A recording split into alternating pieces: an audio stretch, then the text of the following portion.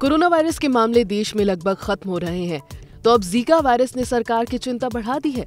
दरअसल पुणे के बाद अब कर्नाटक में जीका वायरस का केस मिला है। कर्नाटक के स्वास्थ्य मंत्री के सुधाकर ने सोमवार को कहा कि रायचूर ज़िले की पाँच वर्षीय एक लड़की में इस वायरस की पुष्टि हुई है। राज्य में ये जीका वायरस का पहला मामला है। हालाँकि मंत्री ने ये भी स्पष्ट किया कि किसी भी तरह की चिंता की ज़रूरत नहीं है, क्योंकि सरकार सभी आवश्यक उपाय कर रही है और जल्दी इस संबंध में दिशा निर्देश भी जारी करेगी। के सुधाकर ने कहा, हमें पुणे लैब से जो रिपोर्ट मिली है, उसमें जीका वायरस की पुष्टि हुई है। यहाँ से ये सैंपल पाँच दिसंबर को भेजा गया था। इसके साथ दो और सैंपल्स भेजे गए थे। अन्य दो की रिपोर्ट नेगेटिव आई है। उन्होंने कहा, जिसकी रिपोर्ट पॉजिटिव निकली है, वो पाँच साल की बच्ची है। फ़िलहाल स्वास्थ्य विभाग बच्ची की निगरानी कर रहा है।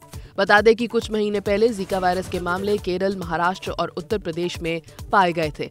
तो इस वक्त की बड़ी खबर यही कि कोरोना वायरस के मामले तो लगभग देश में खत्म हो रहे हैं, लेकिन जीका वायरस ने सरकार की चिंता बढ़ा दी है। कर्नाटक में पाँच साल की बच्ची में जीका वायरस की पुष्टि हुई है और कर्नाटक स्वास्थ्य विभाग अलर्ट पर है।